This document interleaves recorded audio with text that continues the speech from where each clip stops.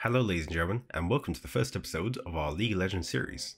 In this series, we'll be going from basic gameplay mechanics to the micro and macro play and what's in the current meta. This episode will be predominantly aimed at newer players, and we'll be going over some simple concepts and ideas, and throughout the series we'll be building on these to go towards the more complex moves and ideas later on. So without further ado, let's kick off some basics of the overall gameplay. League of Legends is often known and referred to as a MOBA, which is an online battle arena, which sort of fits into the strategy game genre, in which you control a hero out of a group of 5. Your main objective is to get to the other enemy team's nexus.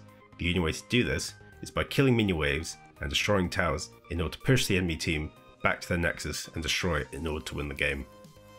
So let's start off with the laning roles. You have top, mid, ADC slash bot, support, and then we also have jungle. It's not really a lane, but we'll discuss that later on. So let's talk about the laning roles first, and what attributes each character has and why they're played in certain lanes.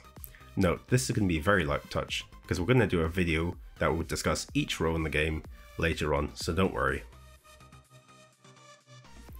Top, also known as the Lone Wolf. If you enjoy operating alone instead of spending most of your time with your team, and are combat enthusiast who especially enjoys one-on-one sort of dueling, this is role for you.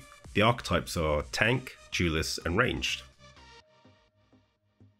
Jungle, also known as the Maestro. If you enjoy being a strategy person that kind of enjoys looking at the bigger picture and working on through that, and getting key objectives in order to push your team in order to win, this may be the role for you. They are also known as initiators, snowballers, and farmers. Mid, the do-it-all. Are you a jack of all trades? Do you like doing a little bit of everything? Can you easily execute spell combos without missing a beat? Are you a team player who also enjoys solo play? If so, this role might be for you. The sorts of archetypes are assassins, control mages, and roamers.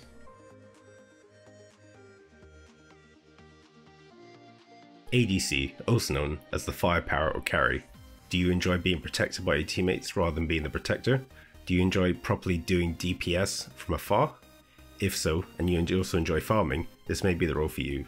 There are certain archetypes for this as well. There are hyper carries, lane bullies, and engaging utility characters.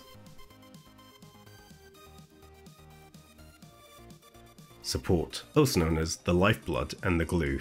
If you enjoy laning aspects of League of Legends but don't want to have to worry about farming, and work along with others to ensure victory, this may be the role for you.